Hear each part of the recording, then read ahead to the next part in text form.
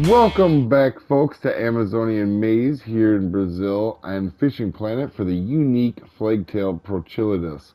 And we're going to spawn at Orchard Shore and take a left.